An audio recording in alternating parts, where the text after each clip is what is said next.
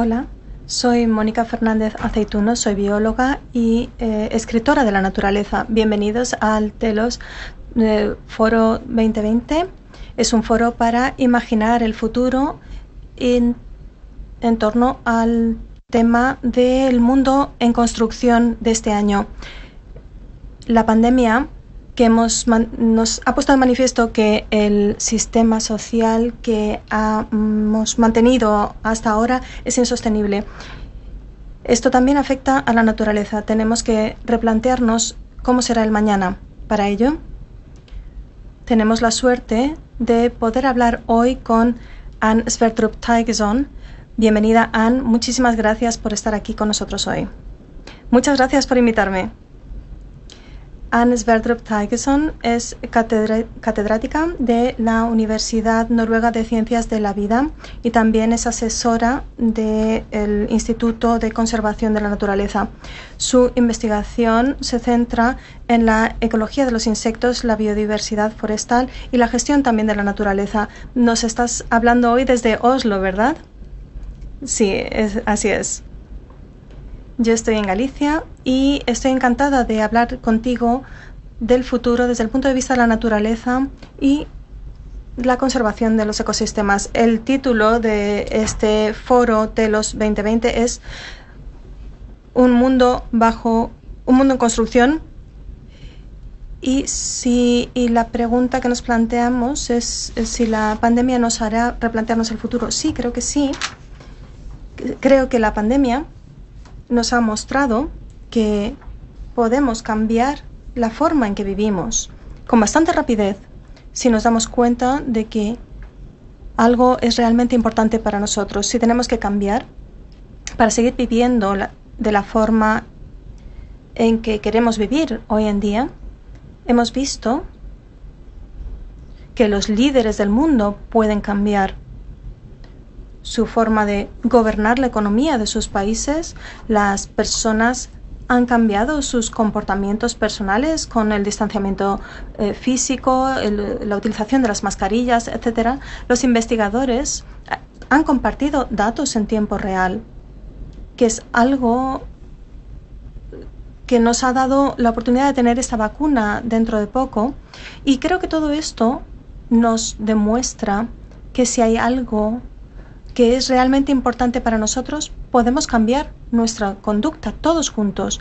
Y esto es precisamente lo que tenemos que hacer también en lo que se refiere a la forma en que tratamos la naturaleza, porque como sabéis, y como la, la forma en que vivimos actualmente no es sostenible, los humanos hemos cambiado la naturaleza en los últimos 200 años más de lo que lo hemos hecho en toda la historia y sabemos que esto no puede continuar a largo plazo.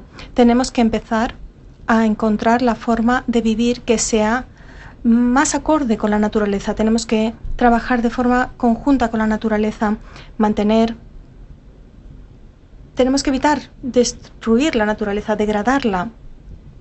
Así que sí, y espero que todos aprovechemos esta oportunidad y que los líderes del mundo tomen esta oportunidad para cambiar el mundo y hacer que sea más sostenible a largo plazo ahora que la crisis del COVID está llegando a, su fin.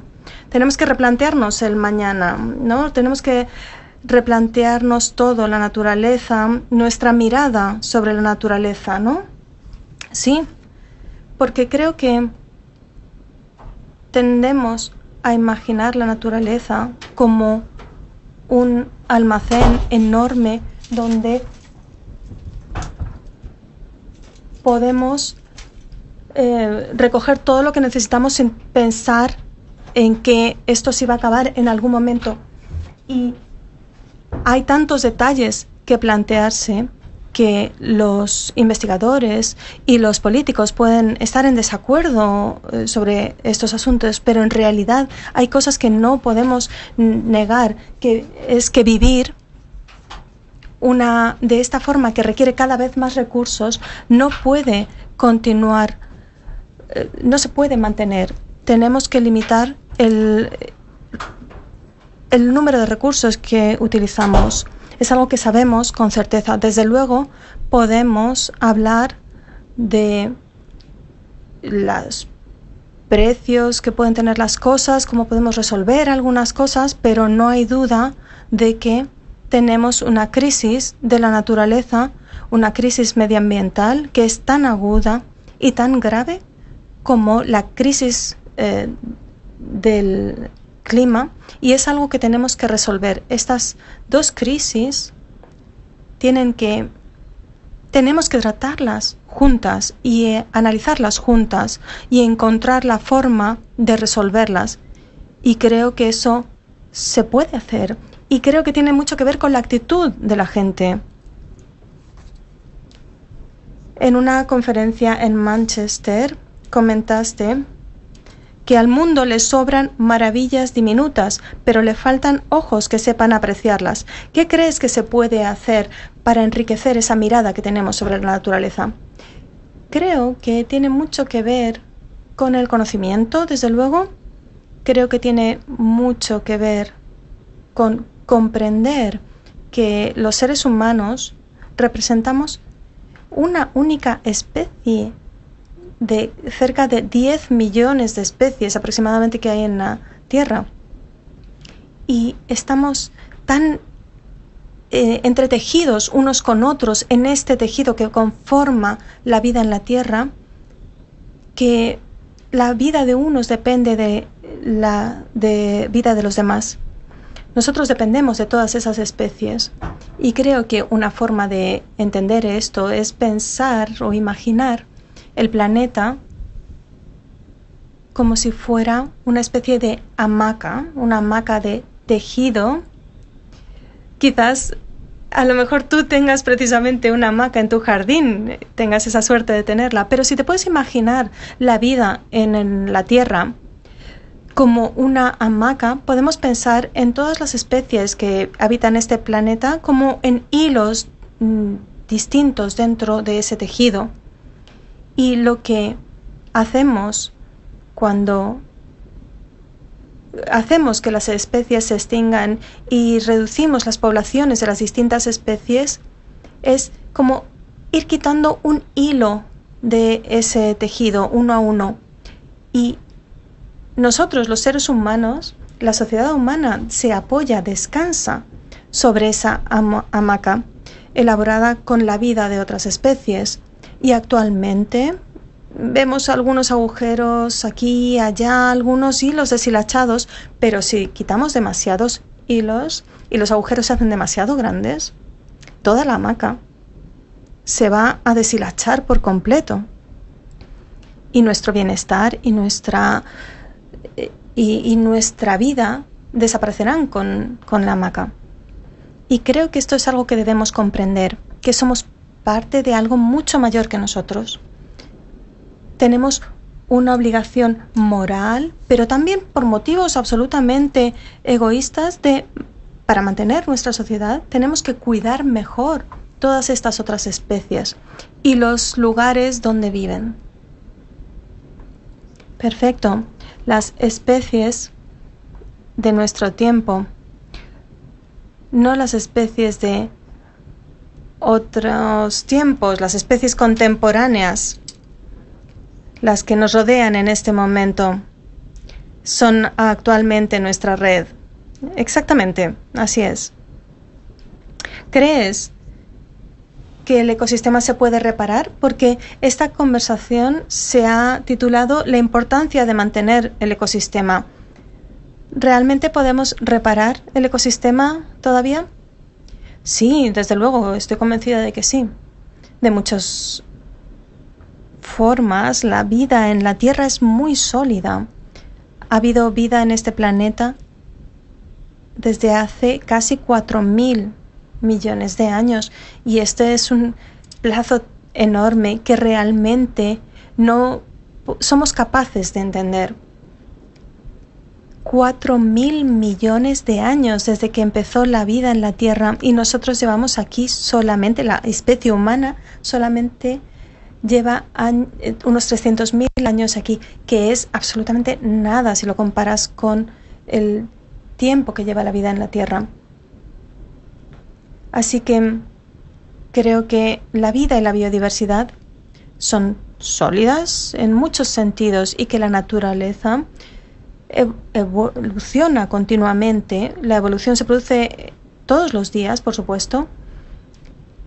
Así que creo que esto va a seguir produciéndose. La naturaleza seguirá adaptándose a los cambios que hagamos nosotros.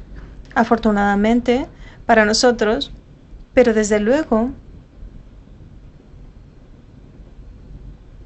hay límites hasta donde podemos seguir presionando los ecosistemas y deteriorar la naturaleza. No sé dónde están esos límites. Sabemos que el panel internacional del medio ambiente, que es un panel sobre biodiversidad, ha recopilado toda la información que tenemos sobre biodiversidad y en sus informes afirman que 3.200 millones de personas de, esta, de este planeta ya están sufriendo las consecuencias de la degradación de la naturaleza y lo sufren a diario. Y también dicen que, de hecho, ya estamos perdiendo un 10% de la economía del mundo cada año debido a la degradación de la naturaleza y los ecosistemas. Así que realmente estamos acercándonos a esos límites. ¿Todavía podemos hacer algo? Y realmente tenemos que empezar el cambio rápidamente, porque cuanto más degrademos la naturaleza, más difícil será recuperarla. Y hacer que estos servicios del ecosistema vuelvan a funcionar unos con otros, porque la naturaleza hace tantas cosas por nosotros. Las 24 horas del día la naturaleza trabaja para nosotros gratis. Polinizan nuestros cultivos, reciclan nutrientes. Uh, uh, y esto nos permite seguir viviendo. Realmente tenemos que comprender esta situación y cambiar nuestra forma de vivir.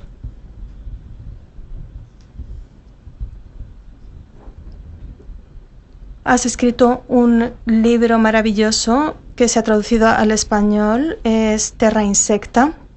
Este libro maravilloso, un libro hermoso también,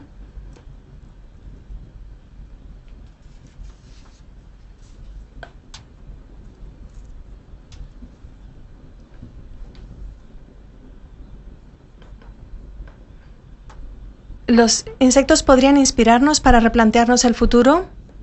Los insectos son la forma óptima de la naturaleza. Tienen cabeza, tórax, abdomen. Es una forma óptima de la naturaleza, pero pero podrían ayudarnos también a replantearnos el futuro, podrían servirnos de ejemplo a nosotros para nuestra forma de vivir. Sí, creo que los insectos nos pueden inspirar de muchas formas. Pueden darnos ideas, inspiración para darle forma al nuevo futuro. Simplemente mirando la gran variedad de insectos que hay, son criaturas hermosas de tantas formas, de tantos colores. Tienen unas vidas tan extrañas, sorprendentes. Y creo que la fascinación que sientes cuando empiezas a investigar un poco a los insectos el aprendizaje de todas sus interacciones entre los insectos y otras especies también, creo que realmente crea una especie de entendimiento de esta eh, intricada red de vida. Creo que también creo que hay una cierta capacidad de sorprenderte que te hacen dar cuenta de que la naturaleza es tan fabulosa y que hay tantas criaturas en el mundo que están haciendo cosas fabulosas. Así que eso sería por una parte, pero de forma más específica, creo que los insectos nos pueden ayudar eh, de mm, diversas maneras. Por ejemplo, podemos estudiar a los insectos para encontrar nuevos antibióticos, por ejemplo. Por ejemplo, las hormigas viven en comunidades muy numerosas y tienen defensas frente a microorganismos invasores y de hecho tienen pequeños microorganismos que viven en el propio cuerpo de las hormigas y que crean antibióticos y, o sustancias químicas, llamémoslo como quieras. Así que lo utilizan utilizan sus patas, sus antenas, para extender estos antibióticos por todo el cuerpo y por el cuerpo de sus hermanas hormigas. Y cuando nos fijamos en las comunidades de las hormigas, podemos aprender sobre esto y podemos copiarlo. Podemos utilizarlo también eh, como una medicina para los seres humanos. Y hay muchos otros ejemplos como ese. Los insectos han inspirado, han servido de inspiración para edificios con una mejor em, regulación energética. Por ejemplo, hay termitas que crean unos nidos que son impresionantes. Sí, sí, los he visto. Son preciosos. Son preciosos esos nidos.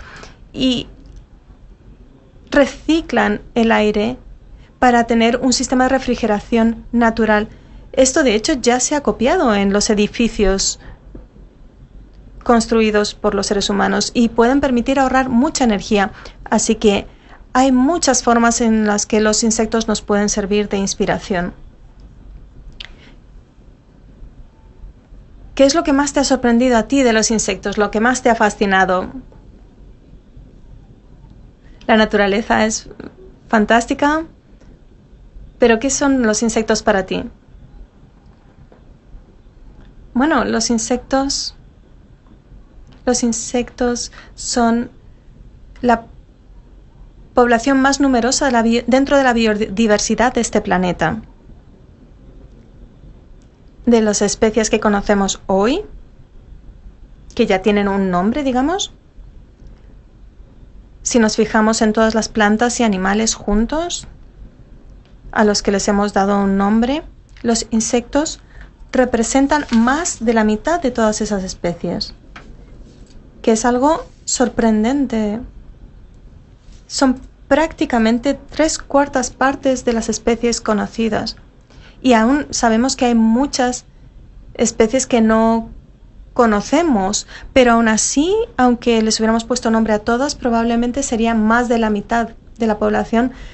Eh, además, son criaturas muy exitosas que llevan mucho tiempo sobre el planeta no necesitan mucho espacio para vivir porque son tan pequeños.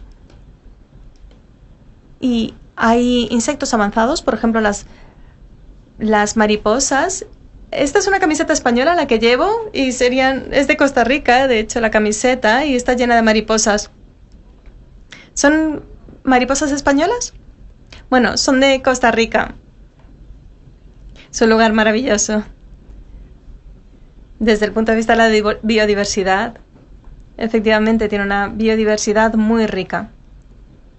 Y esto que hacen las mariposas, que pueden cambiar completamente de su estado como larvas, en que comen las hojas de las plantas, luego se convierten en una crisálida y luego cambian radicalmente cuando son mariposas adultas. Y creo que eso es algo fantástico, creo que es casi como un milagro. Efectivamente es como un milagro. Y creo que todo esto es tan fascinante. Hay tantas sorpresas esperándonos allí en el reino de los insectos. Tenemos todavía tantas cosas por sorprendernos y, por dejarnos maravillar. Tienes un doctorado en biología de la conversación, ¿crees que la mejor conservación de la naturaleza sería dejarla en paz o tendríamos que intervenir de alguna forma para ayudarla?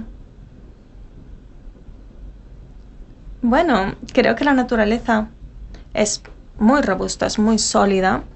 Como hemos dicho antes, la vida, la naturaleza eh, ha estado activa desde hace mucho tiempo y la biodiversidad va a sobrevivir. Y la evolución va a continuar, pero creo que por nosotros mismos, por el bien de los seres humanos y de nuestras sociedades, tenemos que ayudar a la naturaleza a recuperarse. Tenemos que restaurar los ecosistemas. Y como sé, como seguro que sabes, 2020, eh, 2020 es el año en que empieza la década de la restauración de la naturaleza por las Naciones Unidas y esta reconstrucción de la naturaleza debe incluir a los bosques, los ríos, restaurar todos esos sistemas tan variados.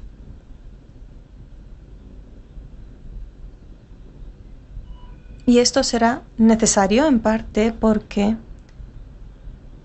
nos dan, nos dan tantos servicios, nos proporcionan tanta ayuda y todo está muy relacionado. De nuevo, con motivos incluso egoístas, los seres humanos necesitamos la naturaleza y creo que desde luego la naturaleza es importante, tiene valor por sí misma. Yo creo que las especies tienen derecho por sí solas a, a vivir, pero para muchas personas es difícil entender por qué tenemos que restaurar los ecosistemas, pero al señalar la conexión tan estrecha entre la naturaleza y los servicios que obtenemos de nosotros, la gente puede empezar a, comprenderlo. Eh, cuando hablamos de que limpian el aire o de las posibilidades que nos ofrecen de inspirarnos eh, y de salir a disfrutar del aire libre, cosas que podemos utilizar en la, en la medicina. Sabemos que muchos de los recursos que utilizamos, e incluso medicinas para el cáncer, tienen su origen en la naturaleza. Así que hay tantas cosas parecidas, tantas soluciones parecidas en marcha que realmente tenemos que pensar que proteger la naturaleza, en definitiva, tiene el potencial de proporcionarnos nuevas medicinas, por ejemplo. Si hubiéramos hecho que algunas de las especies que nos sirven eh, para elaborar determinados medicamentos se hubieran extinguido, no habríamos tenido acceso a ellas.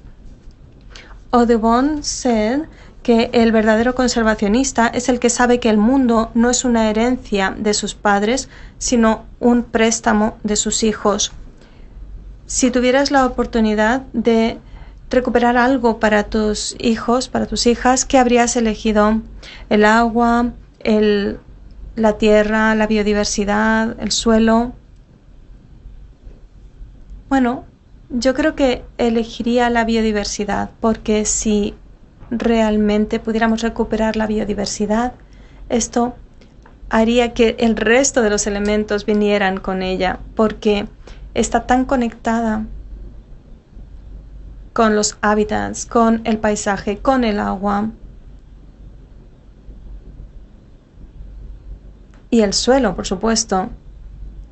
Así que si si puedo hacer trampa, realmente diría que me quedaría con la biodiversidad porque creo que lo engloba todo. Por supuesto quieres todo para tus hijas, desde luego. ¿Y crees que la naturaleza es un hecho local, digamos, único de este planeta o es algo universal? ¿Crees que hay vida más allá de la Tierra? Eso, desde luego, es una pregunta difícil. Sí, es muy difícil. Sí. Bueno, aquí solamente podemos suponer, no entra dentro de mi campo de competencias o de investigación, pero creo que quizás para responder a tu pregunta, creo que hay unas probabilidades de que haya vida en otros planetas porque el universo es tan grande, pero para nosotros, hoy, ahora, lo importante realmente es que hasta donde nosotros sabemos, este planeta es el único lugar del universo que conocemos por ahora. Por ahora. Y tenemos tanta suerte de vivir aquí y ahora en este planeta maravilloso que compartimos con tantas otras especies. Es importante darse cuenta de que es emocionante pensar en el universo y explorar el sistema solar y el universo, pero si no podemos cuidar nuestro propio planeta, no tenemos motivo para pensar que vamos a cuidar ningún otro planeta tampoco. Así que realmente tenemos que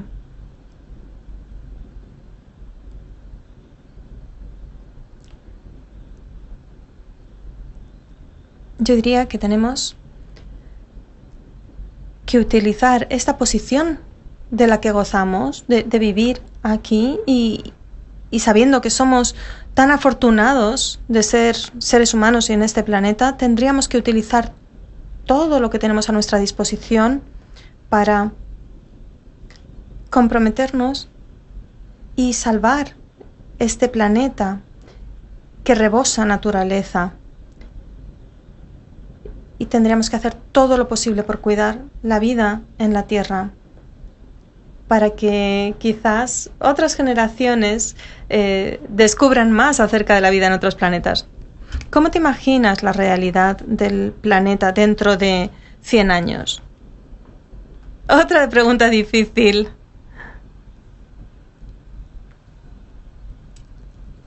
Bueno, supongo que lo que me da más miedo es que dentro de 100 años hayamos degradado realmente el planeta de forma que resulte difícil tener cantidad, eh, una cantidad de comida y de recursos suficientes para dar servicio y dar abasto con todas las personas que vivirán en el planeta dentro de 100 años.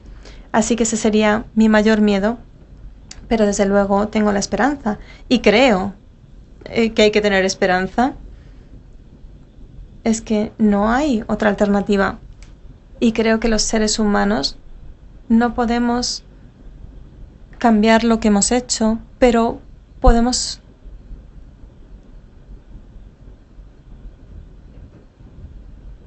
restaurar la naturaleza. Hemos encontrado formas de ir a favor de la naturaleza en lugar de destruirla hemos encontrado nuevas formas de interactuar mejor como parte de las especies que viven en la superficie de la Tierra. Tenemos derecho a vivir y tenemos derecho a utilizarla en una medida justa, de forma sostenible.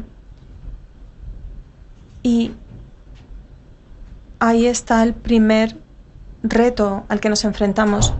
Somos muchos y hemos usado muchos recursos. Y tenemos que ajustar nuestra forma, nuestra economía de forma que sea más circular para que utilicemos los recursos de una forma mejor y de una forma que sea realmente sostenible. Así que esa sería mi esperanza, eso es lo que deseo para la Tierra en 100 años. ¿Cuál es tu lugar preferido en la Tierra? Bueno, creo que mi lugar favorito en la Tierra sería el bosque de Redwood en California. Lo visité hace varios años y tenía grandes expectativas, pero los árboles que hay allí tienen más de mil años. Son los árboles más altos del planeta. miden más de 100 metros de altura. Y al entrar en este bosque es sencillamente maravilloso. Te sientes tan pequeñito y también te sientes tan grande. Te sientes pequeño porque estos árboles son gigantescos, pero por otra parte sientes que eres parte de algo más grande. Cuando respiraba en ese bosque, el dióxido de carbono se iba al, a la parte superior, a las copas de estos árboles. Y notabas que, bueno, se iban a absorber, se iban a pasar por las hojas, por el tronco, por las raíces de estos árboles. Y era una, fue una experiencia maravillosa. Realmente me gustaría volver a ese sitio a experimentar esto otra vez. ¿Y tu deseo para 2021 cuál sería? Mi deseo para el próximo año sería que nos demos cuenta de que somos una especie dentro de los 10 millones de especies de este planeta, que si queremos seguir viviendo y manteniendo la vida tal y como la conocemos para nosotros, debemos respetarlas y tenemos que, tenemos que entender que somos una especie única, que tenemos la capacidad de evaluar lo que hacemos de una forma lógica y moral. Y creo que con toda esta información, en 2021 seremos capaces de asumir esa responsabilidad y empezar a cambiar la forma en que tratamos la naturaleza, porque la naturaleza es todo lo que tenemos y es todo lo que somos en realidad. Eso es maravilloso. Todo lo que tenemos y todo lo que somos es cierto, es cierto.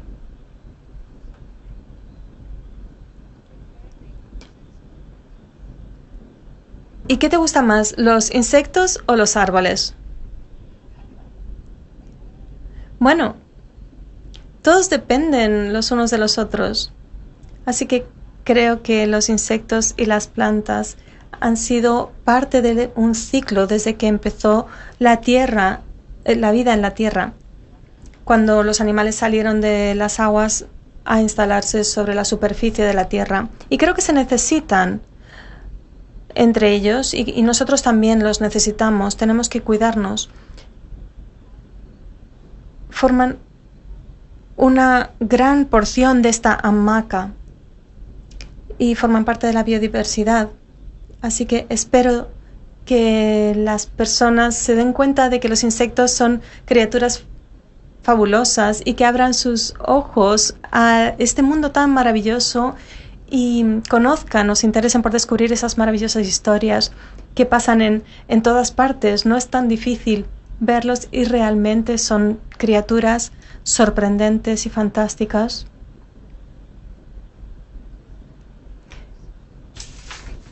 Anne Sverdrup Tigerson, muchas gracias por estar con nosotros en Telos 2020 en Un Mundo en Construcción. Ha sido un placer escucharte. Tienes grandes ideas en tu mente y tenemos mucha suerte de contar con este libro traducido al español, que me hace las cosas mucho más fáciles, así que te vuelvo a agradecer que hayas estado hoy con nosotros. Kolda es gracias en noruego, me parece. Sí, así es. Gracias, gracias a vosotros por esta conversación. Y espero que las personas lean el libro y que se unan al equipo que está, estamos apoyando y respaldando a los insectos porque creo que necesitan más gente que los animen. Muchas gracias, Anne, y buena suerte en 2021 y buena suerte a todos. Gracias a todos por estar aquí en el foro Telos 2020. Gracias. Anne Sverdrup Tigerson, muchas gracias.